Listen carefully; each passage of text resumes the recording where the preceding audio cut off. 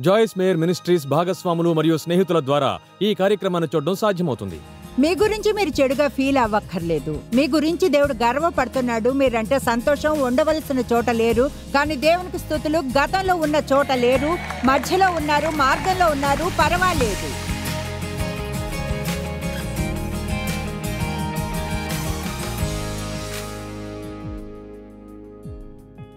గలతీయుల గ్రంథమంతా నిజంగా యేసు మరణించినప్పుడు మనం పాత నిబంధన నుంచి విడుదలయ్యామన్న నిజాన్ని గురించే.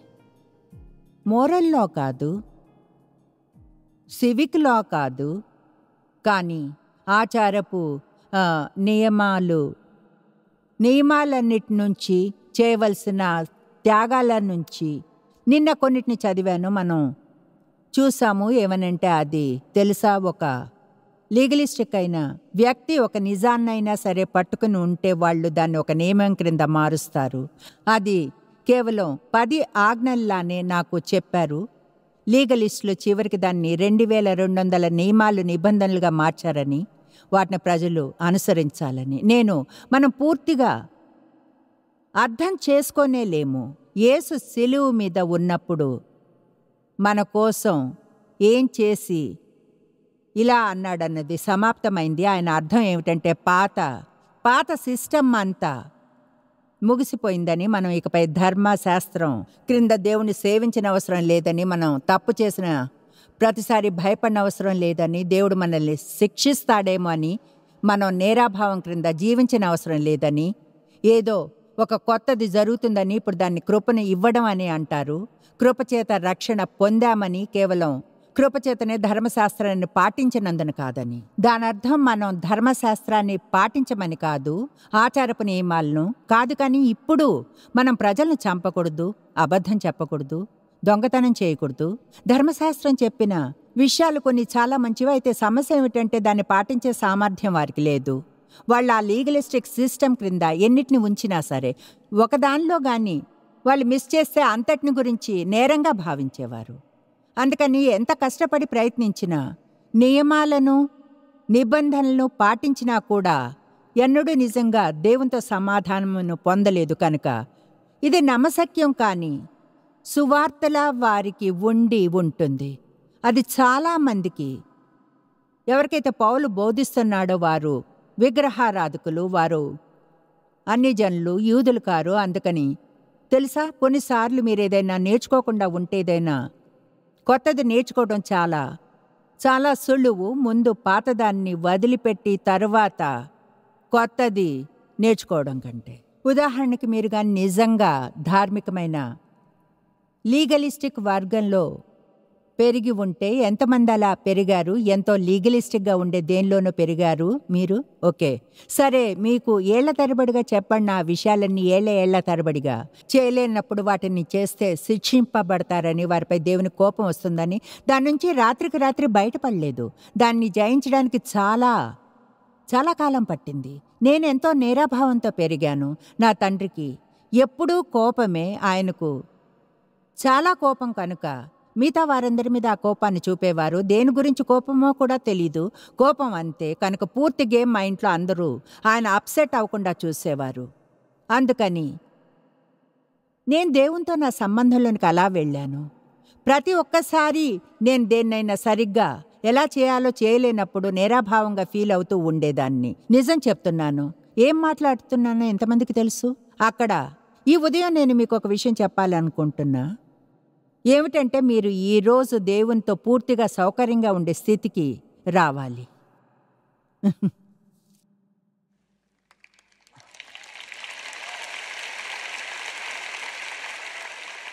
అంటే దేవునితో ఒకలా ఇలా ఉంటున్నప్పుడు మీరు స్త్రీలకి ఇది కొంచెం బాగా సంబంధించి ఉంటుంది. మీరు హాయిగా కంఫీగా ఉన్న పైజామాలతో మీకు అత్యంత సౌకర్యంగా ఉండే కుర్చీలో కూర్చుని ఉంటారు. మనం మనంగా దేవునితో ఉండవచ్చును కఠినంగా లీగలిస్టిక్గా ఉండి నియమాలను పాటించిన అవసరం లేదు.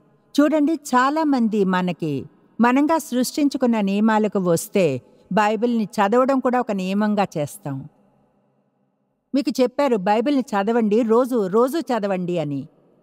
బహుశా ఇలా అంటే బాగుండేదేమో. వాక్యాన్ని రోజు చదవండి. చూడండి కొన్నిసార్లు మీకు కావలసిన వాక్యం వేరే ఏదైనా పుస్తకంలో బైబిల్లో ఉన్నది చదివితే దొరుకుతుంది. అయితే దాని గురించిన కొన్నిటిని వివరిస్తుంది కూడా. నిన్న ఇలా అన్నాను. తెలుసా? ఈ ఉదయం నేను బైబిల్ చదవలేదు. అప్పుడు ఇక్కడున్న నిశ్శబ్దాన్ని చూడాల్సింది. ఇక్కడ ఇప్పుడు మీరు చదవలేదా? బైబిల్ని చదవలేదా?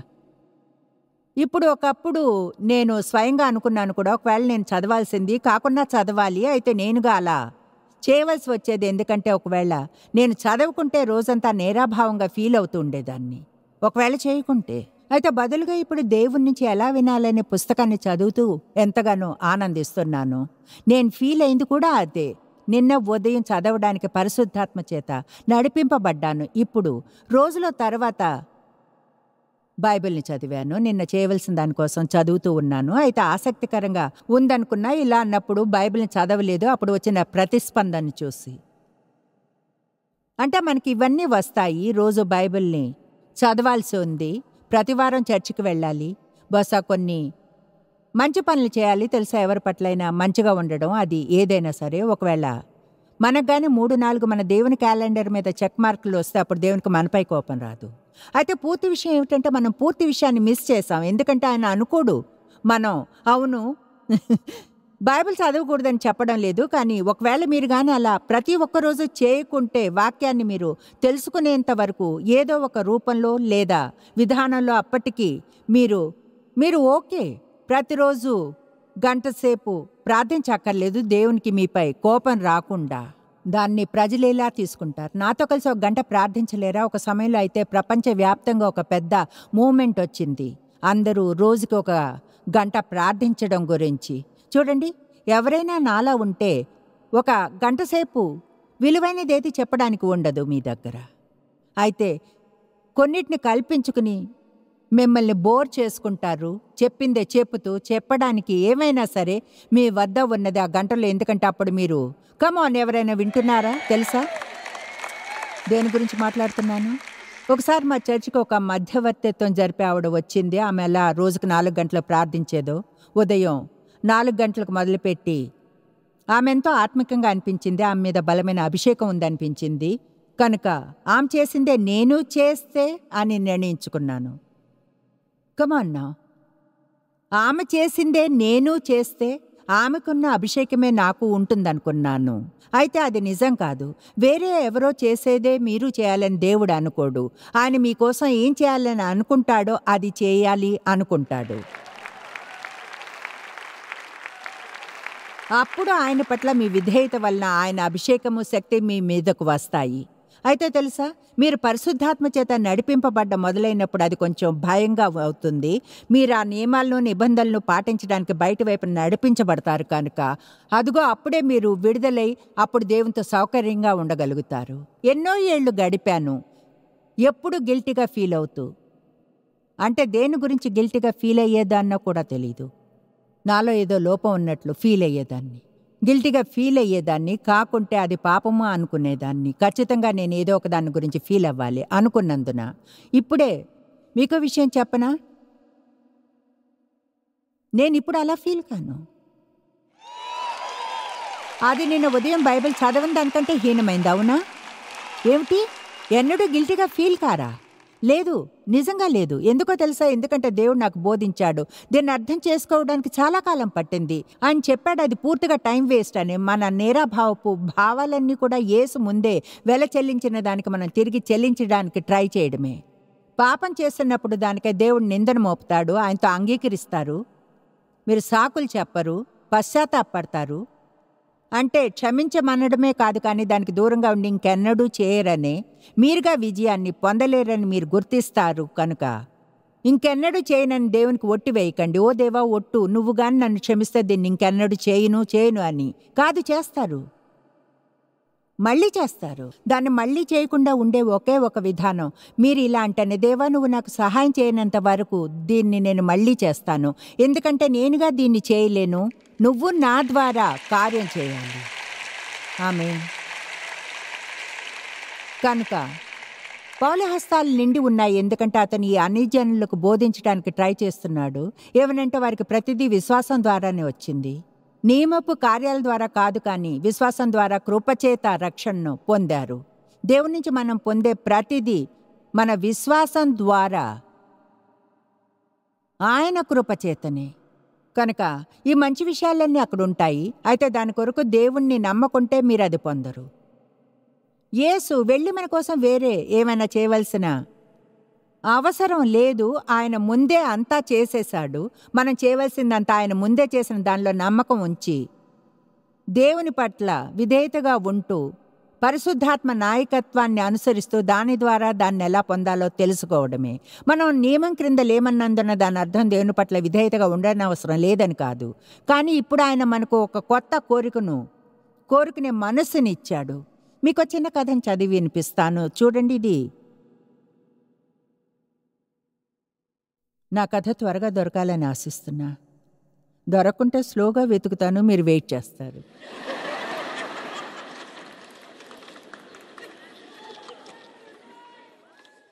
ఇదిగో దొరికింది. బిల్ అనే అతను ఎంతో దుష్టకరమైన పాపపు జీవితాన్ని జీవించేవాడు. అతని ఫ్రెండ్ ఒకరు అన్నారు బిల్ నీ కోసం జాలి పడుతున్నా నువ్వు ఆనందించే వాటన్నిటినీ క్రిస్టియన్గా అయినందున వదిలివేయాలి. బిల్ అందుకో నేను ఎప్పుడు కావాలంటే అప్పుడు తాగగలను ఎలాంటి సినిమా చూడాలంటే చూడగలను. జోదమాడవచ్చును ఎప్పుడైనా ప్రజలతో చెడుగా ప్రవర్తించగలను. అతని ఫ్రెండ్కి అర్థం కాక నువ్వు అవన్నీ చేసి ఒక క్రైస్తవుడిగా ఎలా ఉండగలవు? అన్నాడు. అందుకు బిల్లు ఓ నీకు అర్థం కాదులే. ఇప్పుడు వాటిని చేయాలనుకోను కనుక చేయును. దేవుడు నాకు కొత్త కోరికని ఇచ్చాడు కనుక.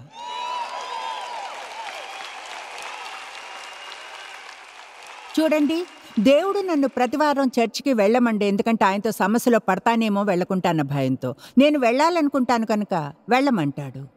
ఆయన వాక్యాన్ని చదవకుంటే ఆయనతో సమస్యలో పడతానని నన్ను వాక్యాన్ని చదవమండు. నాకు చదవాలని ఉన్నందున చదవమంటాడు. చూడండి నిజం ఏమిటంటే దేవుడు మీలో కొత్త కోరికనిచ్చాడు. అయితే మీరు కానీ పొందాలి అనే రాజ్యంలో జీవిస్తుంటే ఎప్పుడు మీరు ఏం చేయాలనుకుంటున్నారన్నది తెలుసుకోలేరు. నిజం ఏమిటంటే ప్రతిదీ మీరు సరిగ్గా చేయాలనుకుంటారు దేవుణ్ణి ప్రీతిపరచాలనుకుంటారు. మంచిగా ఉండాలనుకుంటారు లేకుంటే శనివారం ఉదయం వచ్చి ఇక్కడ కూర్చుని రోజంతా నేను చెప్పేది వినరు కనుక. చూడండి మీ గురించి మీరు చెడుగా ఫీల్ అవ్వక్కర్లేదు. మీ గురించి దేవుడు గర్వపడుతున్నాడు. మీరంటే సంతోషం ఉండవలసిన చోట లేరు. కానీ దేవునికి స్థుతులు గతంలో ఉన్న చోట లేరు. మధ్యలో ఉన్నారు మార్గంలో ఉన్నారు పర్వాలేదు. సువార్త ఇదే. మీరింకా చేరుకోలేదు అయినా పర్వాలేదు. మీరింకా పరిపూర్ణత అనే చోటుకు చేరుకోలేదు అయినా పర్వాలేదు. మిమ్మల్ని నిరాశపరచును. అయితే శరీరంగా ఉన్నంత వరకు ఎన్నడూ చేరుకోలేరు. సారీ యేసు వచ్చి మనల్ని ఇక్కడి నుంచి తీసుకువెళ్ళే వరకు మీరు ఎప్పుడూ తప్పులు చేస్తూనే ఉంటారు. అయితే ఎవరూ దేవునికి ఆశ్చర్యం కారు? మనల్ని తీసుకున్నప్పుడు ఆయనకు తెలుసు. ఏం పొందుతున్నాను అని. ఆమెన్. ఆయన చింత అంతా మీరు అభివృద్ధి చెందడం గురించే. ఆయన చింతంత మీరు ఆయన ఏమనుకుంటున్నాడు అన్న దాని గురించి చింతించడమే. అందుకని మీరు చింతిస్తారు కనుక చేస్తారు లేకుంటే ఇక్కడ ఉండరు. ఆయనకు సంతోషం. దేవుని ప్రీతిపరచడానికి ఏం చేయాలి? దేవుడు మీ నుంచి కోరుకునేది ఈ కార్యాన్ని ఏమిటంటే ఆయన పంపిన వాళ్ళలో మీరు నమ్మకం ఉంచడమే. సరే. ఇప్పుడు గలతి నాలుగో అధ్యాయానికి వెళ్దాం ఒక నిమిషం. గలతి నాలుగు ఇరవై ఒకటి నుంచి ముప్పై ఒకటి. ధర్మశాస్త్రమునకు లోబడి ఉండగోరు వార్లారా మీరు ధర్మశాస్త్రము వినటలేదా నాతో చెప్పుడి. దాసి వలన ఒకడును స్వతంత్రు రాలి వలన ఒకడును ఇద్దరు కుమారులు అబ్రహామును కలిగిరని వ్రాయబడి ఉన్నది కదా? ఆయన్ను దాసి వలన పుట్టినవాడు శరీర ప్రకారం పుట్టెను స్వతంత్రురాలి వలన పుట్టినవాడు వాగ్దానమును బట్టి పుట్టెను. ఈ సంగతులు అలంకార రూపకంగా చెప్పబడి ఉన్నవి స్త్రీలు రెండు నిబంధనలై ఉన్నారు పాత నిబంధనను మరియు కొత్త నిబంధనకు ప్రతినిధులు. హాగర్ ఆనంది అరేబియా దేశంలో ఉన్న సీనాయి కొండయే ప్రస్తుతమందున్న ఎరుషులేము దాని పిల్లలతో కూడా దాస్యమందు ఉన్నది. అయితే పైనున్న ఎరుషులేము స్వతంత్రముగా ఉన్నది అది మనకు తల్లి. ఇప్పుడు ఇక్కడ ఆగి మిగతా కథను చెప్తాను. అబ్రహం అనువాన్ని దేవుడు తెలుసుకున్నాడు ఏమనంటే అతనితో ఒక నిబంధన చేసుకోగలనని. ఆయన అతన్ని తనకు తెలిసిన వారందరికీ ఉన్న ప్రతిదాన్ని వదిలిపెట్టి ఆయన వెళ్ళమన్న చోటుకు వెళ్ళమంటాడు అయితే ఎక్కడికి? అన్నది ఆయన చెప్పాడు. అతని కుటుంబం విగ్రహారాధన చేసేది. అందుకని దేవుడు అతన్ని ఆ ప్రభావానికి దూరంగా తీసుకుని వెళ్ళాలనుకున్నాడు. ఆయన కోరుకునేది అతను చేయడానికి. మీలో కొంతమంది దేవుడు మీలో కొన్నిటిని చేయాలనుకుంటున్నాడు. మీ ద్వారా మీరు ఊహించలేని దానికి మించినవేవో చేయాలని అనుకుంటున్నాడు. మీకోసం ఆయన గొప్పవైన అద్భుతమైన విషయాలను ప్లాన్ చేసి ఉంచాడు. అయితే వాటిని చేయడానికి మిమ్మల్ని వేరే కొన్నిటి నుంచి ఆయన దూరం చేయాల్సి ఉంది.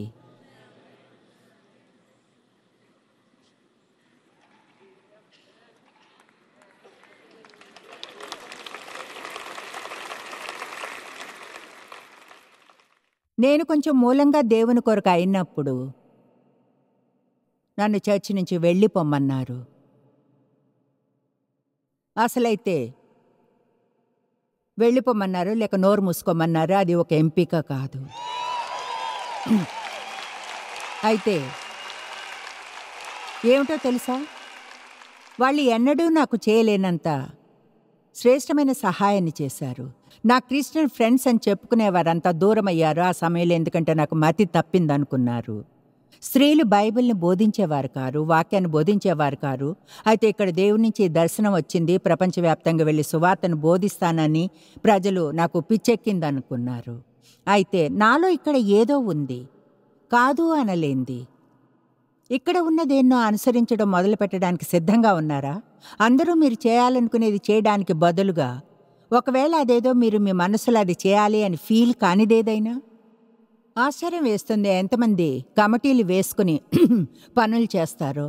ఒకవేళ చేయకుంటే ప్రజలు వారికి తీర్పు తీర్చి విమర్శిస్తారని ఫీల్ అయినందున అయితే దేవుడు వారు చేయాలనుకునేది ఫీల్ అయి చేయడానికి బదులుగా. ఒకసారి ఒక అమ్మాయి నా దగ్గరకు వచ్చి అంది జాయ్స్ ఏం చేయాలో తెలీదు. మా చర్చిలో ఇప్పుడు ఉదయాన్నే ప్రార్థించే గ్రూప్ ఉంది మా మా ఫ్రెండ్స్ అంతా వెళ్తున్నారు. ఇంకా అంది నాకు వెళ్ళాలనిపించడం లేదు. ఆమె అంది వాళ్ళు అది అర్థం చేసుకోరు. నీలో లోపం ఏంటి? ప్రార్థన చేయడానికి వెళ్ళాలని లేదా? ఆమె అంది నాకేం చేయాలని ఉందో తెలుసా? వాళ్ళు వెళ్ళినప్పుడు వాళ్ళ పిల్లల్ని చూసుకోవాలి. అయితే ఆ మనసును అనుసరించడానికి భయపడింది. వాళ్ళ ఫ్రెండ్స్ ఏమనుకుంటారో అని. అందరం పరిశుద్ధాత్మ నాయకత్వాన్ని అనుసరిస్తే దేవుడు ప్రతిదాన్ని అందరి కోసం కప్పుతాడు. ఊహించుకోండి ఆ స్త్రీలందరికీ తమ పిల్లల గురించి పట్టించుకునే అవసరం లేదంటే ఎంత ఆశీర్వాదమో. ఆమె ఆ పిల్లల్ని చూసుకుంటూ దేవుణ్ణి సేవించేది వాళ్ళ తల్లులు వెళ్ళి ప్రార్థన చేస్తూ ఉండగా ఆయన మీరు ఏదైనా చేయడానికి కోరికనిస్తాడు మీరు వేరే ఏదో చేయాలనుకుంటారు మీకు వేరే ఏదో చేయాలని కోరిక కలుగుతుంది. మనం ఆ హృదయేచ్ఛలను అనుసరిస్తే శారీరకమైన కోరికలను కాదు కానీ హృదయేచ్ఛలను చివరికి సంతోషంగా నింపబడినట్లు ఉండగలము. చాలామంది అలా చేయడానికి భయపడతారు. అసలైతే వాళ్ళ నియమాలు నిబంధనల క్రింద జీవిస్తుంటారు. పరిశుద్ధాత్మ చేత నడిపించబడే బాధ్యతను తీసుకోకుండా. నాకున్న ప్రతిదానికి తెలిసిన వారందరికీ దూరంగా వెళ్ళినప్పుడు నాకు అది అంత ఈజీగా ఉందని అనుకున్నారా? వాళ్ళు నాకు సహాయం చేశారని ఎందుకన్నా? ఎందుకంటే నన్ను దేవునిలోకి తోశారు. నాకు మిగిలింది ఆయన ఒక్కడే. ఇద్దరం ఒకరితో మరొకరు బాగా తెలుసుకోగలిగాం. కమాన్ మీలో ఎవరైనా దేవుడు మీతో చెప్పిన దాన్ని పట్టుకుని వేలాడుతున్నారా? కొంతమంది. ప్రజల సంగతి ఏమిటి మీ పై మంచి ప్రభావం ఉండదని చెప్పినా మీకు తెలిసిన కొందరిని పట్టుకుని వేలాడుతున్నారా? వారం వారం ప్రతి వారం వెళ్ళినా ఏమీ నేర్చుకోకుండా ఉన్న ఏదైనా చర్చిలో ఉన్నారా? ఇప్పుడు అది సిల్లిగా లేదు? మరైతే ఏమైనా నేర్చుకోగల చోటుకి ఎందుకు వెళ్ళరు? నేను చర్చికి తప్పకుండా వెళ్తాను అయితే ఏమైనా నేర్చుకోవాలి. మీరు ఎదుగుతూ ఉండాలి. మీకు ఏదైనా జరుగుతూ ఉండాలి. దేవునిచే యూజ్ చేయబడేలా మిమ్మల్ని వాళ్ళు సిద్ధపరచాలి. ప్రతివారం మీరు ఒకే చోట కూర్చోకూడదు వెళ్ళడానికి భయపడి అయిపోయే వరకు వెయిట్ చేయలేనంతగా. అంటే మనం అలా ప్రవర్తించితే దేవుడు సంతోషించడు. మీరు ఈ రోజు ఇక్కడ ఉండాలనుకున్నారు కనుక్కున్నారు మీ ఫ్రెండ్ ఎవరైనా ఈడ్చుకురానంత వరకు ఎక్కడికి వస్తున్నారో తెలియకుండా. స్త్రీలు తమ ప్రక్కనున్న స్త్రీని చూపిస్తూ కనుక ఎప్పుడైపోతుందో తెలుసుకోవడానికి ఆమె ఇక్కడ ఉన్నందుకు సంతోషంగా ఉందా లేదా? ఉన్నందుకు సంతోషమైన ఓకే ముందే సంతోషంగా ఉంది అంటే మంచిదే. ఆల్ రైట్ కనుక ఈ అలంకార రూపము అబ్రహాముకు ఉన్న ఇద్దరు పిల్లల గురించి అసలైతే మనం జీవించగలిగే రెండు విధానాలు చూపిస్తాయి. ఒకటి శరీర కార్యముల చేత అంటే దేవుడు మాత్రమే చేయగలిది మన శక్తితో చేయడానికి ట్రై చేయడం. మరొకటి దేవుడు మనకు చేసిన వాగ్దానాలు నెరవేర్చడానికి ఆయనకై నిరీక్షించడం. తెలుసా కావలసినంతగా దేవునికై నిరీక్షిస్తే కొన్నిసార్లు అలసిపోతారు సొంత ప్లాన్ వేసుకుంటారని? అది ఇలానే ఉంటుంది. నాకు తెలిసి ఏం చేయాలో? మీ భర్త రక్షణ పొందలేదు కనుక మీరు నా పుస్తకాల్లో ఉట్టుకుంటారు దానిలో కొన్నిటి క్రింద గీతలు గీసి ఆయనకు ఇష్టమైన కుర్చీ దగ్గర పెడతారు. అదిగో అలానే. లేదా నా సీడీల్లో ఒక దాన్ని కొని దాన్ని గట్టిగా ప్లే చేస్తారు. తెలుసా ఎప్పుడైతే నా జాబ్ని ఓ నలభై ఏళ్ళ క్రితం వదిలేశానో చదవడానికి టైం లేదని అంటే దేవుడు చేయడానికి పిలుపునిచ్చి చేయమనేది ఎలా చేయాలో తెలియదు బైబిల్ని ఎలా బోధిస్తారు? బైబిల్ అంటే కూడా నాకు తెలియదు కనుక చదవాలి. తెలుసుకుని చదవాలి. అలా చేసే టైం లేదు. చేస్తూ ఫుల్ టైం జాబ్ని చేయడానికి. కనుక జాబ్ని వదిలేయమని దేవుడు నా మనసులో చెప్పాడు. అంటే ప్రతి నెల మాకు నలభై డాలర్లు మా బిల్స్ కట్టడానికి తక్కువ అవుతాయి. ఎంత భయపడ్డానో కూడా ఎలా చెప్పాలో తెలీదు. తెలుసా దేని గురించైనా భయపడుతున్నారంటే దాని అర్థం మీకు పాస్ దొరుకుతుందని కాదు. అంటే కొన్నిసార్లు భయపడుతూనే చేయాలి. చేసి మీ జీవితంలో దేవుడు మీకోసం ఏముంచాడో తెలుసుకోవాలి. నాకు ఇప్పటికీ గుర్తుంది నేను మా ఇంట్లోని హాల్లోంచి నడుస్తున్నా డబ్బు ఎక్కడి నుంచి వస్తుందా అన్న దాని గురించి భయపడుతున్నాను. నా కాళ్ళు నిజంగా వణుకుతున్నాయి. దేవుడు అన్నాడు దీన్ని చేయడానికి రెండు మార్గాలు ఉన్నాయి నువ్వు ఈ రోజున గురించి రాత్రి పగలు చింతించి జబ్బుపడి దుఃఖకరమైన గందరగోళంగా అవ్వు లేదా రోజు అద్భుతాల కొరకు నన్ను నమ్ము. రెంటులో ఏది చేస్తావు? నేను అన్నాను. ఓకే నిన్నే నమ్ముతాను. దేవుడు గతంలోని ఆ రోజులో నాకు చేసిన ఆ చిన్న విషయాలన్నింటినీ చెప్పడానికి టైం లేదు. అవే నన్ను ఆయనకు సన్నిహితంగా చేసినవి. చెప్తున్నాను నాకు తెలుసు మీరు కానీ దేవుడు చేయమని చెప్పింది చేస్తుంటే ఆయనే మిమ్మల్ని చూసుకుంటాడు అని. ఆయనే బిల్లుల్ని కడతాడు. ప్రతి ఒక్కటి మంచిగానే అవుతుంది. ఆమెన్. సరే అబ్రహాము దేవుడు అతనికి సొంత బిడ్డ పుడతాడని చెప్పాడు. అతనికి కావాల్సింది అదే తన సొంత బిడ్డ. అయితే అక్కడ ఒక సమస్య ఉంది అతనికి వందేళ్ళు సారైకి దాదాపు తొంభై. అబ్రహాంతో దేవునికున్న నిబంధన దేవుడు ఆయన వంతుని చేశాడు. కానీ అబ్రహాముతో ఎనిమిది రోజులైనప్పుడు మగబిడ్డలందరికీ సున్నతి చేయించడం నీ వంతు అని చెప్పాడు. చూడండి సున్నతి చేయడం అంటే శరీరాన్ని వెనక్కి కత్తిరించడం. నిజంగా అవసరం లేని ఒక శరీర భాగాన్ని కత్తిరించడం. కొన్నిసార్లు అనారోగ్యంగానూ అవ్వవచ్చును ఈనాటికి చేస్తుంటారు. ఎందుకంటే మగబిడ్డలకు అలా చేయడం ఆరోగ్యకరం కనుక. అయితే వారు దేవునితో నిబంధనలో ఉన్నారన్న దానికి అది ఒక గుర్తు.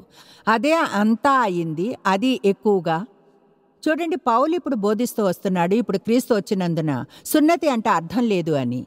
ఇకపై అలా చేయవలసిన పని లేదు. అయితే యూదులు మాత్రం దొంగలా వచ్చి వారికి చెప్తున్నారు క్రీస్తుని విశ్వాసం చేత స్వీకరించారు ఓకే. అయితే మీరు ఇప్పటికీ మీరు సున్నతి చేయించుకోవాలి అని. తెలుసా అపవాది మనం ఇలా ఆలోచించాలి అంటాడు ఏ సరిపడు దానికి మనం ఇంకొంచెంగా జత చేయాలి అని. మీకు విషయం చెప్తాను అది ఏసు ప్లస్ మీ కార్యాలేమీ కాదు అది ఏసు పీరియడ్. మనం చేసే కార్యాలు వాటిని మనం దేవుణ్ణి ప్రేమిస్తాం కనుక చేయాలి కానీ ఆయన మనల్ని ప్రేమించడానికి కాదు.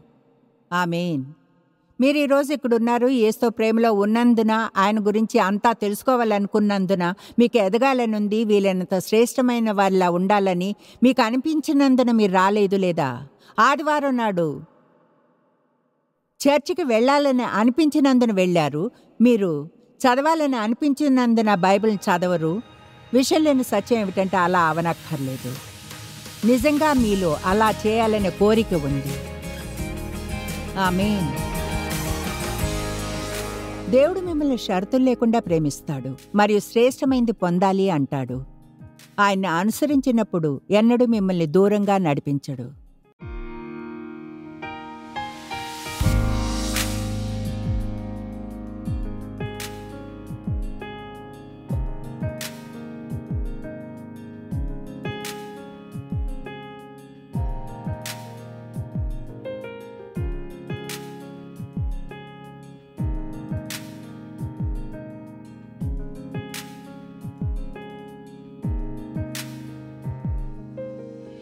వాయిస్ మేయర్ మినిస్ట్రీస్ భాగస్వాములు మరియు స్నేహితుల ద్వారా ఈ కార్యక్రమాన్ని చూడడం సాధ్యమవుతుంది.